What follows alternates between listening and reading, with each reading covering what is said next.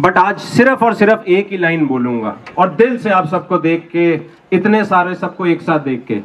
जहाँ हम सब खड़े हो जाएँगे, वही भूटानी है।